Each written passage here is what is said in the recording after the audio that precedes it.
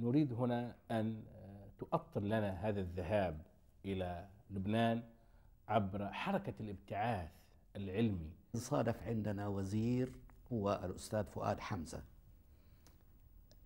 لعب الدور الأول في أن يأخذ شيء من الثقل الذي يذهب إلى مصر. أنا أخبرتك على أني ألقيت قصيدة. ثم قيل لي إنه يمكن أن ينشر في جريدة صوت الحجاز تلك الأيام وفي جريدة أم القرى وبالفعل بدأت أنشر فيها أثر له صدى يعني صغر سني من المبررات طبعا. ثم أنا قلت أنه نحو عربية يعني؟ القومية العربية في تلك الأيام استولت على أذهاننا وعلى عقولنا وإلى آخره. وكنا يعني نحسبها أنها هي الإسلام يعني. وأننا إذا كنا العرب فإذا المسلمون هم القومية العربية هي قومية المسلمين وقومية العرب يعني إلى مدى على ما ظهر بعد ذلك من تناقضات الآخرين مجال لشرحها. لم يكن هناك أي معرفة لما يجري في لبنان إلا فيما ندر مما يجيء من مطبوعاتها. أقصد حينما ذهبت عندما ذهبت نعم.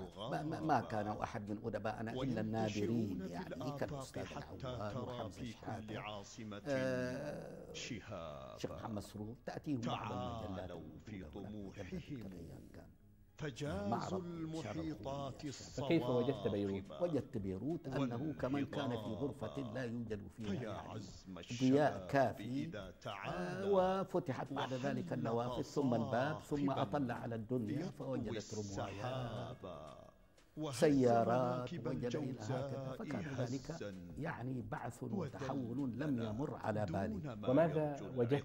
في الجامعة الأمريكية هناك؟ دخلت إلى الجامعة الأمريكية في بيروت وأنا كان قبل ذلك بأربع. سنوات قررت مدرسة لا الفلاح. تعليم اللغة الإنجليزية في فلاح. بمن عنيت شباب قلت أنا لا أتعلم لغة الاستعمار هذه لأول مرة أعلنها يعني طبعا على خلق من استدعاني المدير.